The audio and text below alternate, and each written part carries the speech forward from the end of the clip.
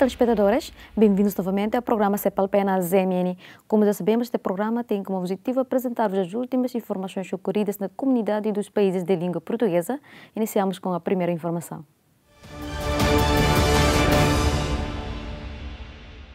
A população de Dili parece ter ido mais longe do que as próprias restrições do governo relativamente ao estado de emergência.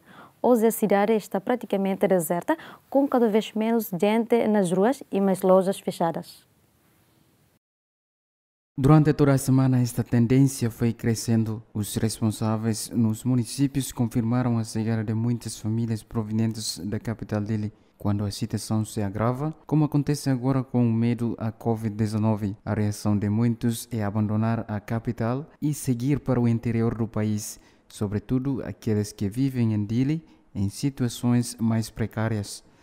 Esse sinal viu-se ao longo da semana com a saída dos transportes públicos, microletes e biscotas, e as angunas começaram a descer a capital carregados de arroz, Muitos dos habitantes da capital optaram por sair das ruas mesmo antes do início do estado de emergência, decretado no passado dia 28 de março. Muitas lojas fecharam, o governo começou a dispensar os seus funcionários não essenciais.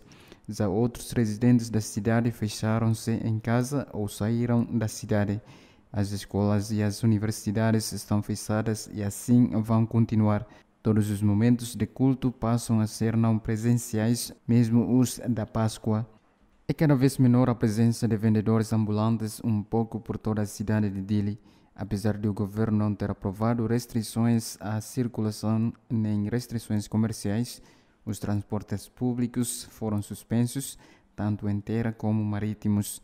Em situação deixa assim praticamente isoladas as populações do enclave de Cusi e da ilha de Atauro. Finalmente, o transporte de bens e serviços está permitido, mas os navios não podem transportar passageiros. Um diplomata timorense a residir no continente asiático está infectado com o Covid-19. O Ministério dos Negócios Estrangeiros e Cooperação continua a acompanhar a evolução do seu estado de saúde. O diretor dos assuntos da ASEAN, Jorge Camões, falava nesta terça-feira sobre o assunto no seu escritório na Praia dos Coqueiros, em Dili.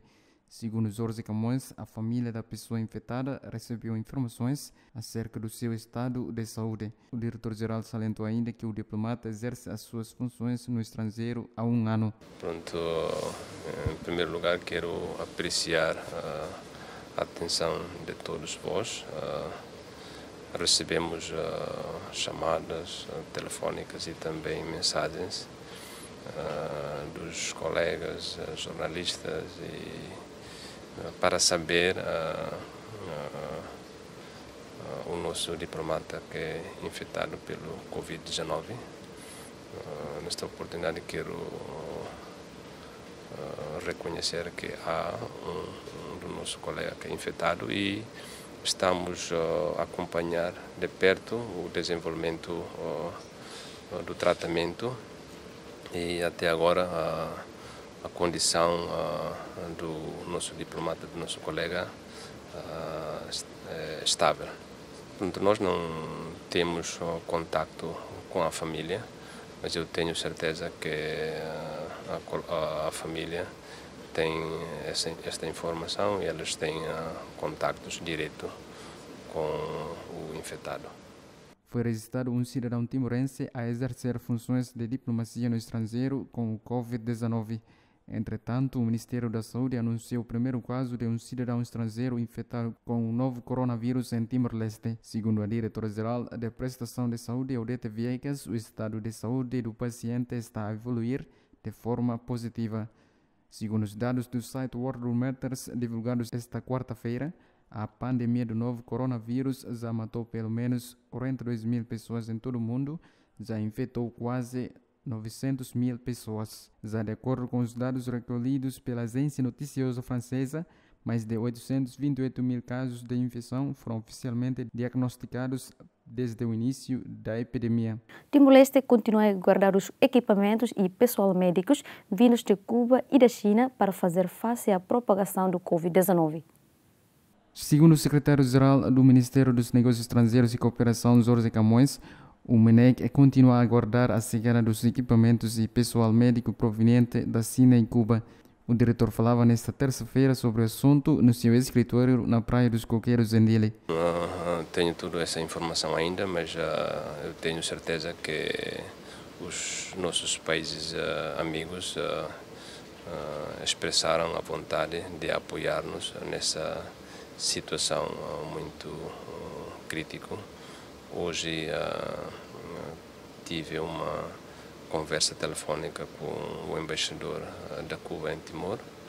Ele eh, informou-me que o, o, governo cubano está pronto a apoiar-nos uh, e uh, daqui a breve vamos uh, ter uma comunicação com a parte cubana para identificar todas as necessidades para que, de, para que os nossos eh, pedidos podem ser eh, respondidos eh, em tempo breve. pronto, falamos sobre medicamentos e também apoio dos médicos cubanos para Timor-Leste. Pronto, eu acho que temos a mesmo, o mesmo pedido, eu não tenho detalhes ainda, mas pronto, queremos pedir a esses países para apoiar-nos com os medicamentos, uh, apoios médicos, também outros equipamentos para uh, responder esta necessidade de uh, Covid-19. Recorda-se que a Austrália está a apoiar o Laboratório Nacional de Timor-Leste para que possam em breve serem realizados os testes de despite da Covid-19. Para já, Timor-Leste ainda carece de comprovação em relação ao Laboratório Nacional. Dois técnicos australianos estão atualmente em Timor-Leste apoiados pelo Estado de Saúde Menzie e pelo projeto LEAD por parte do governo australiano. A sua estadia no país visa prestar apoio ao Laboratório Nacional localizado em Dili foi registrado um cidadão timorense a exercer funções de diplomacia no estrangeiro com o Covid-19. Entretanto, o Ministério da Saúde anunciou o primeiro caso de um cidadão estrangeiro infectado com o novo coronavírus em Timor-Leste. Segundo a diretora-geral da Prestação de Saúde, Odete Viegas, o estado de saúde do paciente está a evoluir de forma positiva. Segundo os dados do site World Matters divulgados esta quarta-feira, a pandemia do novo coronavírus já matou pelo menos 42 mil pessoas em todo o mundo, já infectou quase 900 mil pessoas. Já de acordo com os dados recolhidos pela agência noticiosa francesa, mais de 828 mil casos de infecção foram oficialmente diagnosticados desde o início da epidemia. O presidente da República de Portugal afirmou a importância de ser manter as medidas de contenção que vigoram em Portugal. Marcelo Rebelo de Sousa referiu que essa foi uma opinião unânime na segunda reunião técnica sobre a situação da Covid-19. A segunda conclusão, que foi unânime das intervenções dos especialistas, é de que no futuro imediato vale a pena manter as medidas de contenção. Não é vale a pena, impõe-se manter as medidas de contenção. E foi uma posição unânime. Voltando àquela imagem de há uma semana, importa manter a pressão na mola para que a mola não suba. E isso foi dito por todos e foi assumido como uma prioridade para o nosso futuro coletivo imediato. Foram duas conclusões que nos pareceram claras desta utilíssima reunião com os especialistas. Equipas dos municípios de Condeixa Nova e da Pampilosa da Serra, em Portugal, andam de porta a porta a entregar bens alimentares e medicamentos aos mais idosos. A medida visa incentivar o isolamento e evitar contágios do novo coronavírus.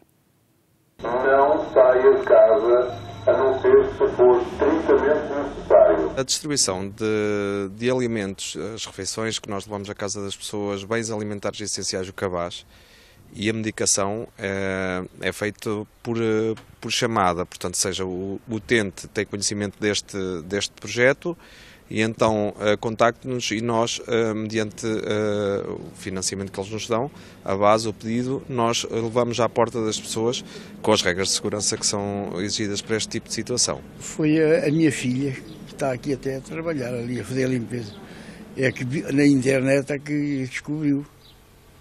E depois telefonou. Eu primeiro ainda não queria aceitar, mas depois olha, pronto. então já vão logo os homens à tarde, vão ir buscar os sacos para, para amanhã levar cheios de comida para casa. Isto é uma medida que se aplica a todas as pessoas com mais de 65 anos e reformadas, mas também a pessoas que estejam doentes ou com doenças crónicas ou estejam retidas em casa. Eh, nós temos essa equipa que substitui a eles, ou seja, tem aqui duas medidas. Por um lado, um apoio, uma proximidade, por outro lado também a mensagem de não saírem à rua, particularmente estes grupos de maior risco, eh, que são as pessoas eh, com mais idade. Pois, é cumprir. E, e quando é que uma, uma velha de 86 e 6 anos, pai com 87 e agora? Tenho que estar aqui em casa. A gente não tem saído daqui. Não temos saído de casa. Vou até a casa da minha cunhada e venho para, para a minha casa. Sou, o contacto que tenho é com ela e mais nada. E com o marido, mais nada. É só daqui para ali, para ali embaixo e de, de embaixo para aqui, mais nada. Obviamente, se nós temos a pedir às pessoas para ficarem em casa, pessoas que vivem muito isoladas, porque são, temos a falar em 109 aldeias que o Conselho tem dispersas por este território tão grande, e portanto as pessoas são muito isoladas, e portanto a Câmara Municipal, logo desde o primeiro dia, o que fez foi montou equipas suas, com funcionários da Câmara, e centralizamos neste número de telefone um, todos os bens essenciais que as pessoas necessitam, nomeadamente a parte de medicamentos, ou de alimentações de, de, primeira necessidade. Os medicamentos ainda não vieram trazer, não sei como é que agora vai funcionar isto, não sei se, se nos vem trazer, se como é que é. Porque eu, eu, ia, eu ia lá sempre buscá-los, mas ia na caminhonete todo dia do mercado. Agora veio cá a, a sua doutora e é que me disse que, que nos traziam cá. Vou às etiquetas. Eu, o medicamento tenho ido até ver. Mas eu, eu, eu fica de ver na farmácia às vezes um mês, eu depois é que requisita a receita e eu depois é que vou pagar. Não ando sempre a correr para a farmácia. Vai ser um bocado difícil porque o nosso conselho realmente é muito grande, mas eu acho que é acolhedor para o nosso coração ajudar quem mais precisa, sim. Nesta altura, então, é muito bom porque o nosso conselho é maioritariamente envelhecido e as pessoas não têm como ir às compras. E importantíssimo porque eu não posso ir, porque eu tenho bronquite asmática e sou diabética. E é claro, eu não posso ir, não posso sair daqui, não posso ir buscar comida para mim nem nada. Muito bem valido. É a minha cunhada com uma coisita que ela lá tinha, muito bem socorrido, mas eu não, não, não, não, posso ir buscar, que eu não posso fazer contato com pessoas porque eu tenho estas deficiências. Tenho a bronquite asmática e tenho os diabetes, não posso fazer contato com pessoas, tenho que estar isolada. Porque senão é pior. Isto assusta a todos, não, não escapa nenhum. Cansados e desanimados, assim se mostraram os portugueses que deixaram Luanda para regressar a Lisboa. Estiveram preocupados com o alastramento da pandemia provocada pelo novo coronavírus. Cansados e desanimados, assim se mostraram esta sexta-feira os 285 portugueses que deixaram Luanda para regressar a Lisboa. Preocupados com o alastramento da pandemia de Covid-19 indignados com o abandono das autoridades portuguesas. Sem conseguirem resolver o problema do regresso através do Consulado de Portugal em Luanda ou da TAP, muitos dos portugueses que ficaram retidos em Angola depois do país fechar fronteiras no dia 20 de março recorreram aos seus próprios meios para encontrar um voo, contactando diretamente agências de viagens em Portugal. Estamos há duas semanas a tentar uh, viajar, eu os meninos todos, uh, o consulado não vale a pena o consulado, o consulado não funciona. Uh, Disseram-nos que existia uma lista no qual essa lista nós já estamos inscritos, não sei dessa lista, eu penso que não há lista. Teve sempre pessoas na, na TAP para tentar arranjar voo, não conseguimos. Conseguimos agora à última da hora através do intermédio de um colega nosso, um preço caríssimo, três vezes mais talvez do normal. Uh, e é assim, e o consulado não funciona bem. O que é que cheia neste momento? Está preocupado? dos meninos. A segurança, sinceramente, a segurança e a saúde. Não o preocupa também a situação que vai encontrar em Portugal? Preocupa, mas em Portugal acho que estamos baixo do local. Simplesmente, na minha opinião, duvido que o consulado de Portugal em Luanda exista ou que tenha alguém a trabalhar efetivamente. Damos mails, inscrevemos em listas, dirigimos à TAP, porque o consulado diz para nós nos dirigirmos à TAP, dirigimos à TAP e simplesmente as listas que lá estão não têm os nossos nomes, uh, não sei, é muito estranho. Há quem se irrite com as listas e questiona a forma como foram elaboradas, como Daniel Santos, que estava em viagem de negócios e também tinha voo de regresso para Lisboa, mas foi cancelado devido ao fecho de fronteiras. Eu até achei que havia algum controle, sinceramente, da parte do, do consulado, mas percebi que havia várias listas, ou seja, listas que provavelmente e seguramente teriam um critério, e eu não sabia qual era o critério. Inicialmente eu achei que era uma lista única, mas depois comecei a perceber que havia várias listas porque havia diferentes níveis de contactos com as diferentes pessoas. E aí comecei-me a sentir, de certa forma, preterido, porque houve três voos que saíram e eu nem soube que eles tinham saído, ou seja, só soube assim, olha, aquele já voou, já voou, mas eu não soube nada. Ou seja, como é que isto é possível? Sentimos-nos um bocado abandonados porque viemos em viagem e estamos há mais de 10 dias sem informação consular sobre os voos e a única maneira que soubemos foi através dos meios de comunicação social. A última informação sobre voos disponibilizada na página da internet do Consulado-Geral de Portugal em Luanda data de segunda-feira e menciona apenas dois voos da TAP, um na quarta-feira e outro no sábado, não tendo tido mais atualizações. O governo português já recebeu 3.600 pedidos de empresas para aderir ao regime layoff lançado na semana passada. Nós criamos um mecanismo exatamente uh, do, do, do mecanismo de apoio à manutenção do emprego, procurando que através dos instrumentos que estamos a lançar, a implementar, uh, consigamos de alguma forma uh, criar condições para que as empresas mantenham o emprego e os postos de trabalho. Esse é o nosso grande objetivo, através dos vários instrumentos têm sido lançados, desde as linhas de crédito, desde o adiamento uh, do pagamento de dois terços da TSU das empresas, também com a medida do apoio ao emprego através do layoff simplificado. Nós, neste momento, já tivemos até o momento 3.600 pedidos de empresas que foram apresentados até hoje, portanto, é o número que nós temos atualizado. Uh, e o grande objetivo é exatamente ajudar e criar condições para manter emprego. Aliás, através das nossas linhas de informação, estamos uh, uh, sempre a dar esta informação, no fundo, para uh, tentarmos minimizar o número de processos de, de despedimentos coletivos que existam. Aliás, é condição para aceder a estes instrumentos que o Governo tem criado, exatamente a manutenção dos postos de trabalho e, portanto, não haver nem despedimentos coletivos, nem extinções de postos de trabalho nas empresas que recorram a estes mecanismos. Isto para lhe dizer que não falarei de casos concretos, até porque não tenho, não tenho conhecimento eh, se foi apresentado ou não o processo, não tenho essa informação. Nós, neste momento, o que estamos a fazer é as medidas que estamos a implementar, é, é feita sempre a avaliação do impacto que pode ter em termos eh, de, de potenciais números de trabalhadores abrangidos, em termos gerais, todas as medidas que estamos a fazer. Naturalmente, este é um esforço coletivo neste momento todos. É um esforço não só eh, da Segurança Social, mas é um esforço também do orçamento, portanto, de, de, de um esforço de todos nós, é também um esforço dos trabalhadores, é também um esforço das empresas, porque estes instrumentos que têm sido criados, todos eles partilham este esforço comum, desde logo no caso do layoff, porque há aqui uma perda de rendimento para os trabalhadores, eh, por parte das empresas também que não tendo eh, atividade económica eh, mantêm os postos de trabalho e da parte do Estado que está aqui a assumir também uma, um, um esforço no sentido de manter postos de trabalho. Esse é o nosso grande objetivo atravessar também este período difícil. Todos reconhecemos que é um período extraordinário, difícil, com eh, medidas extraordinárias para aguentarmos esta fase, eh, procurando eh, manter o mais possível e proteger os postos de trabalho. É esse o nosso objetivo, é esse o apelo também que temos feito a todas as empresas no sentido de manter manterem os postos de trabalho e por isso estes instrumentos que temos colocado à disposição das empresas. A justiça brasileira proibiu o governo de Jair Bolsonaro de promover publicidade que incentivem o regresso ao trabalho, contrariando as medidas restritivas.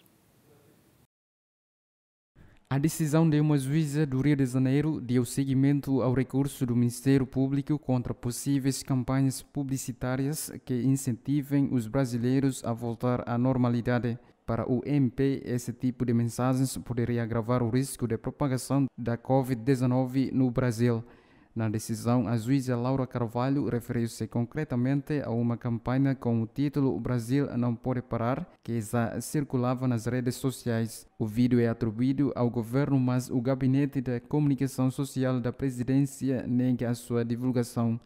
Em contrapartida, admite que o vídeo era apenas experimental e que não chegou a ser aprovado para ser divulgado. Ainda assim, a juíza decretou ao governo que deixasse de divulgar pelos médias anúncios que surgiram às populações comportamentos que desrespeitam as diretrizes emitidas pelo Ministério da Saúde. Jair Bolsonaro tem criticado as medidas de isolamento social adotadas a nível estadual, salientou que, embora seja necessário cuidar da saúde da população, também se deve prevenir o impacto econômico que a pandemia causa. Recorda-se que o Bolsonaro tinha decretado a reabertura imediata de todas as casas de apostas, bem como as igrejas de todas as religiões. De acordo com a imprensa local, o governo anunciou que vai recorrer da decisão da justiça brasileira. Na passada sexta-feira, o Brasil registrou cerca de 3.500 casos e 92 mortos, segundo fontes do Ministério da Saúde. O novo coronavírus já infectou mais de 800 mil pessoas em todo o mundo e mais de 42 mil mortos. O governador do Estado brasileiro de São Paulo acusou o presidente Jair Bolsonaro de não estar em plenas faculdades mentais para liderar o país. A declaração surge após ter desvalorizado a pandemia do novo coronavírus. Em entrevista à agência F, o governador do estado de São Paulo, João Doria, mostrou haver um mal-estar entre as autoridades estaduais e municipais face à retórica de Bolsonaro. O presidente é acusado de subestimar a Covid-19 e de incitar a população de regressar à sua vida normal.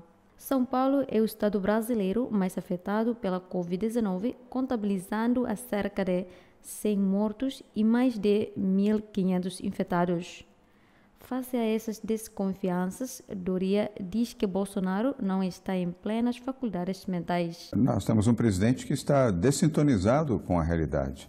Ah, não é razoável que um presidente da República diga que uma crise de coronavírus que afeta o mundo, que já matou mais de 44 mil pessoas uh, no planeta e afeta 50, 156 países, uh, classifique uh, essa pandemia como um resfriadozinho, uma gripezinha.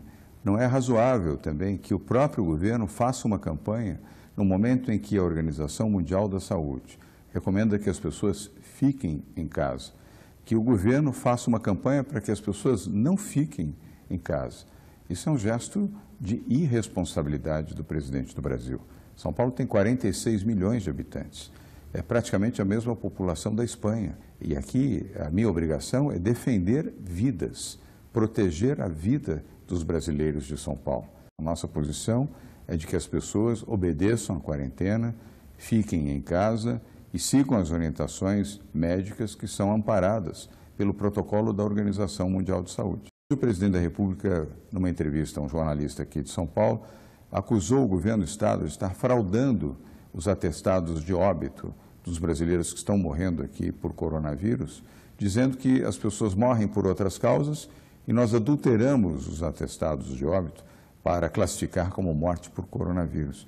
É, é, é de um absurdo é, é de uma disfarçatez alguém dizer que em São Paulo nós estamos adulterando atestados de óbito para justificar o número de mortes daqueles que estão, de fato, morrendo pelo coronavírus.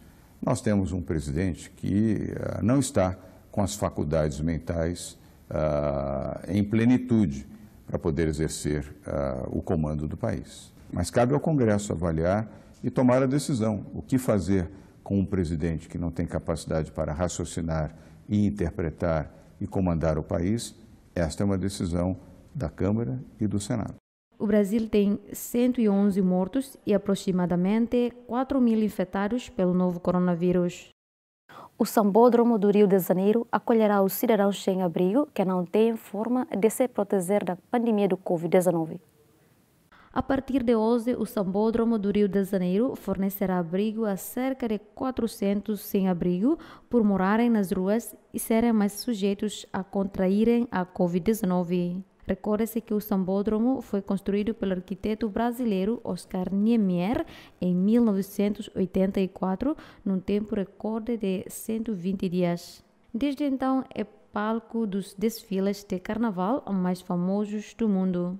A estrutura tem capacidade para receber mais de 72 mil espectadores e é composto por uma passarela que se estende por 700 metros.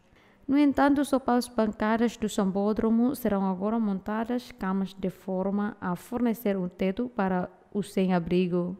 As instalações foram esterilizadas durante o fim de semana para que fossem montadas as habitações. Na entrada do complexo foram adaptadas pias para a lavagem das mãos.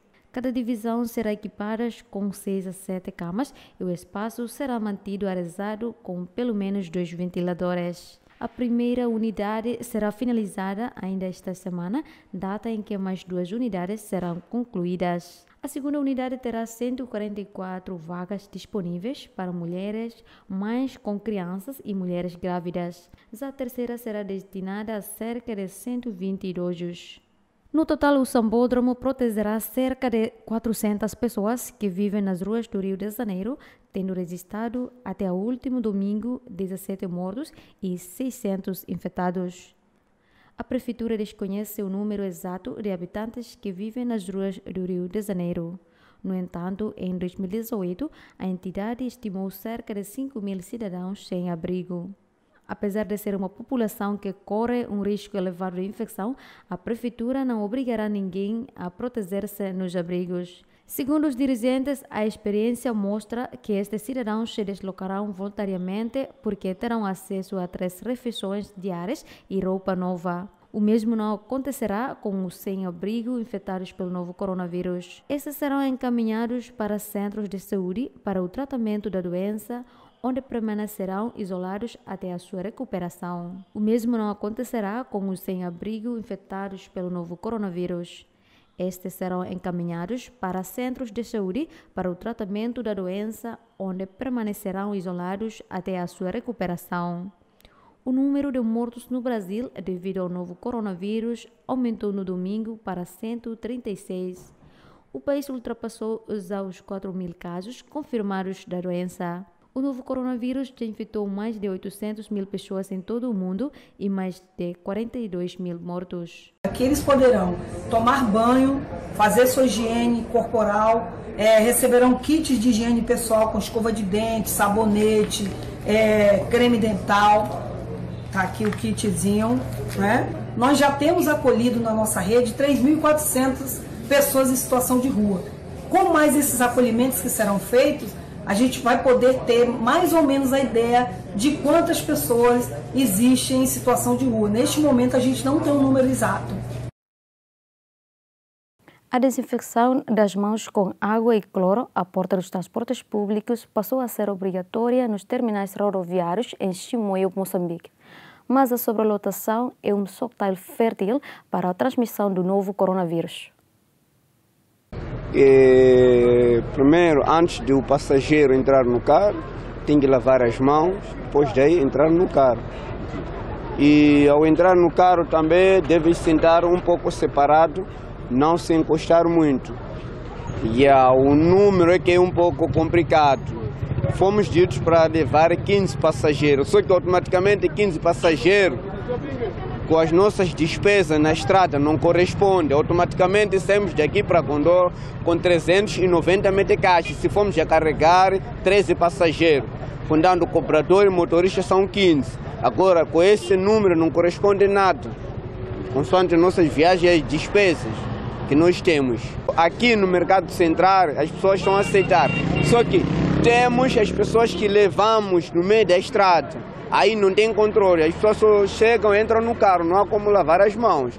Pelo menos se o governo nos ajudasse, provisar nos carros, seria mais bom para evitar, prevenir também com aquelas pessoas que sobem no meio, que não tem como eh, prevenir.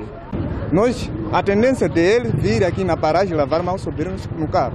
Não sabemos se lavou aonde, mal não, mas aqui nós temos nosso bar para a pessoa lavar mão, como passageiro da paragem de. Sim. E é obrigatoriamente, para quem não lavar não sobe no carro? Sim, é obrigatoriamente. Lavar, lavou mal, subiu no carro.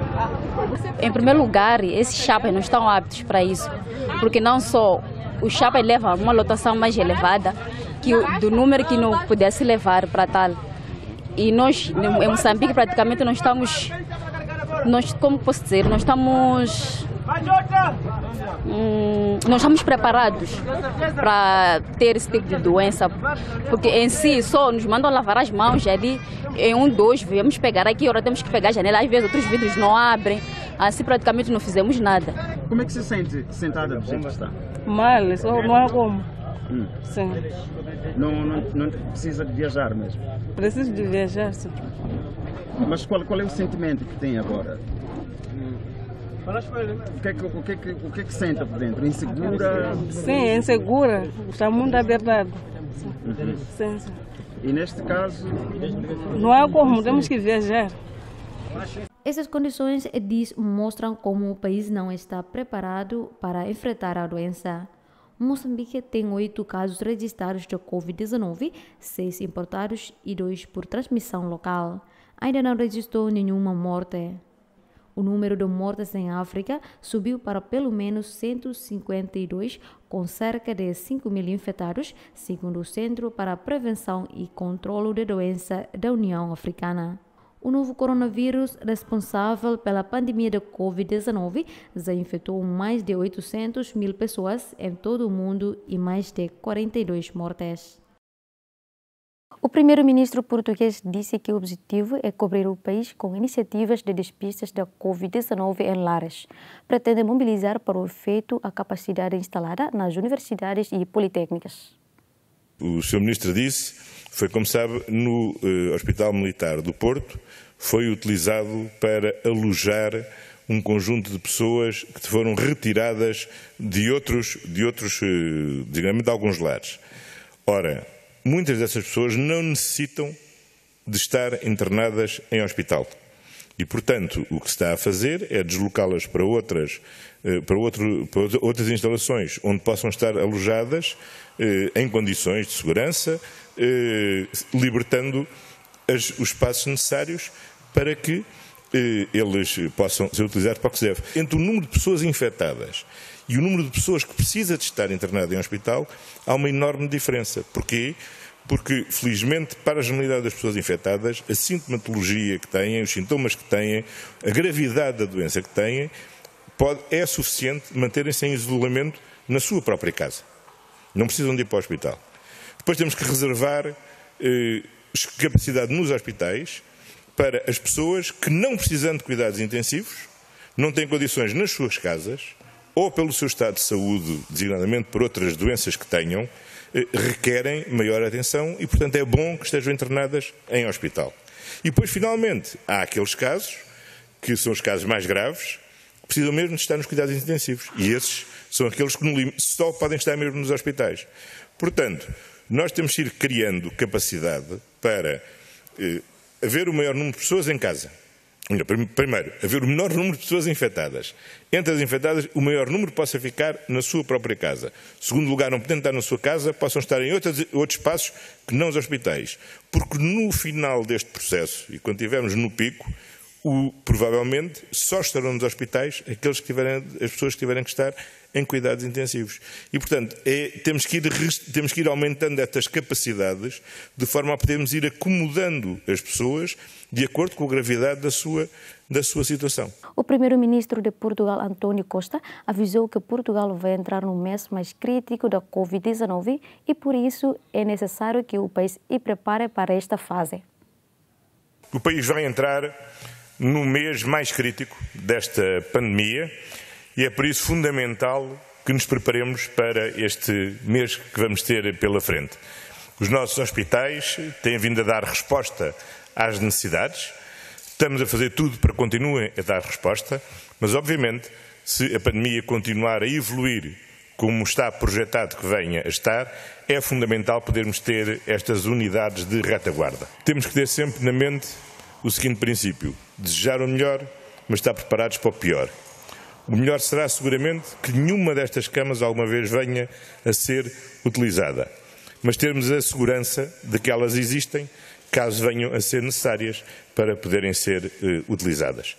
E por isso, eh, neste, nesta semana, onde o Sr. Presidente da República, a Assembleia da República, o próprio Governo, ponderarão a melhor forma da necessidade e a melhor forma de prolongar o estado de emergência, é necessário que todos nos compenetremos, sempre, todos os dias, mal acordamos, que o melhor contributo que cada um de nós pode dar para que nada disto venha a ser necessário e que os profissionais de saúde continuem a ter as condições necessárias para poder exercer o seu trabalho, é cada um de nós contribuir ativamente para a prevenção da pandemia. E isso depende essencialmente de nós. Essencialmente de nós. O vírus não anda sozinho. O vírus só anda onde nós o levamos. E somos nós que o transportamos. E é por isso que é fundamental nos movermos o menos possível e nos mantermos o mais possível isolado. Porque se o fizermos, não estamos a transmitir o vírus a ninguém, nem correr o risco de sermos contaminados pelo vírus. E por isso é algo que é fundamental todos termos em mente. O combate a esta pandemia depende deste enorme esforço, mas depende, sobretudo, da capacidade que cada um tiver de agir com toda a responsabilidade, com toda a disciplina, não, para que não se infecte e, sobretudo, também não infecte os outros. António Costa referiu que, com ou sem estado de emergência, vai ser preciso prolongar as medidas que têm vindo a ser adotadas. É esse grande esforço de unidade nacional que existe e que felizmente tem corrido muitíssimo bem e o desejo que tenho é que venha a correr. O Sr. Presidente da República eh, tomará esta, eh, esta, semana a iniciativa de renovar ou não o estado de emergência. Eh, o Governo dará nessa altura a sua opinião ao Sr. Presidente da República e eh, haverá uma decisão da Assembleia da República. Eu creio que, sem fazer futurologia, que o que é expectável é que, sabendo nós que temos tido sucesso, felizmente, em baixar o pico desta, eh, desta pandemia, ou seja, o momento em que um maior número de pessoas estará infectado, eh, mas ao mesmo tempo prolongando a duração desta, desta pandemia, eh, isto significa que vamos ter que prolongar também as medidas que têm vindo a ser adotadas com estado de emergência ou sem estado de emergência, assim terá que acontecer. Seguramente nós temos que pensar que a seguir a esta pandemia na área da saúde e independentemente de podermos ter segundas vagas, independentemente do que é que vai ser o próximo inverno onde vamos viver com este vírus, ainda sem vacina, há algo que é seguro. Eh, há um momento em que nós temos que eh, relançar, fazer um esforço de reconstrução e de relançamento de, eh, do ponto de vista económico e social. Como sabe, foram adotadas um conjunto de medidas que, pelo Governo, a Assembleia da República está a discutir também um conjunto de medidas, que aprovará, creio que esta semana, que visam, basicamente, assegurar um suporte de vida à economia e à sociedade e aos rendimentos das famílias durante os próximos três meses. Bom, mas depois temos que começar a preparar o futuro da reconstrução e do relançamento da nossa economia e o esforço necessário tem que ser um esforço de todos. E eu acho que esse sentido de salvação e unidade nacional tem prevalecido na sociedade portuguesa e também dos responsáveis políticos e, portanto, não devemos agora consumir-nos a fazer discussões políticas eh, e sobre as formas políticas, devemos concentrar num objetivo que é estancar a pandemia e responder às necessidades que existem das pessoas que estão contaminadas ou que possam vir a estar contaminadas. A fabricante portuguesa de calçado Lavoro de Guimarães continua a trabalhar para não abandonar aqueles que estão na linha da frente do combate à pandemia da Covid-19. Centrada no nicho de equipamento de proteção individual, sobretudo de calçado, esta fabricante portuguesa sediada em Guimarães continua em plena elaboração, ainda que tomando todas as precauções necessárias para prevenir infecções de Covid-19. Ao controlo diário da temperatura dos funcionários, junta-se, como em tantas empresas em tempos de pandemia, o teletrabalho. Umas em teletrabalho, outras em quarentena e algumas delas eh, separadas do grupo de trabalho por precaução médica, portanto, pessoas que têm mais que 60 anos ou outras ainda mais do que isso que estão em uh, teletrabalho. Mal começámos a ouvir falar no coronavírus, novo coronavírus e o, real, e o que ele fazia e afetava no organismo, rastreámos todas as fichas clínicas dos colaboradores, aqueles que tinham patologia associada e patologia essa que podia deprimir o sistema imunitário, esses colaboradores foram logo para casa toda a gente que entra aqui, com muitas restrições, mas é medida a temperatura duas vezes ao dia, aos colaboradores, bem como desinfetam as mãos à nossa frente do álcool gel, mas em todos os postos de trabalho eles têm a garrafinha do álcool gel para ir desinfetando e não têm qualquer tipo de restrição no número de quantidades de vezes que desinfetam, nem a idas à casa de banho para lavar. O átrio e zonas livres aqui da fábrica só podem estar três pessoas e com a distância mínima de um metro e meio, dois metros e foi mais ou menos essas as, as restrições que impusemos. Sr. boa tarde. Só para fazer o ponto de situação. O teletrabalho é uma nova realidade nas empresas portuguesas e o próprio presidente do Conselho de Administração da Lavoro opera diariamente à distância. Por um lado, desenvolvemos medidas importantes no que respeita à saúde dos nossos trabalhadores. Por outro lado, olhamos já também para aquilo que é o lado económico.